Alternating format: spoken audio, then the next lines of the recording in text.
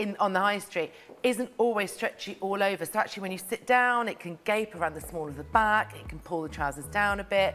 They really are utterly It's a really fab. flattering shape, isn't it? I love the little splits of I the love the hemline. splits of the Um, hemline. too, and these are brand new. I just had a really strange thought in my head. This is the way my mind works. You know, if Hollywood calls and says, "Can we have Jenny Blackhurst to play Batwoman?" We have to say, "Well, what's the suit made of?" Yeah. You know? is, well, is it going to make her ball in we the might bag? have to have a ma- one Oh, made. do you know, if Hollywood called and asked me to play Batwoman, I, I would be, I would ball in the bag all day long for them.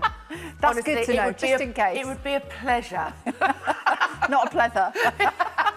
uh, if you do want to go for the trousers on Easy Pay, look, they're just £11.25. So honestly, snap up this Easy Pay while it's there because I'm hoping that the Easy Pay options are going to make it you know, a little bit more affordable to put a look together, go for an outfit together. Absolutely. But, and, and also for me, it would be definitely an, a, a way to sort of step into it and, and see if it is going to be a look that you think you can carry. Remember what I said earlier? My mum, 72, literally almost sort of laughed, like, oh, I can't wear photo. Don't be silly. I went, just try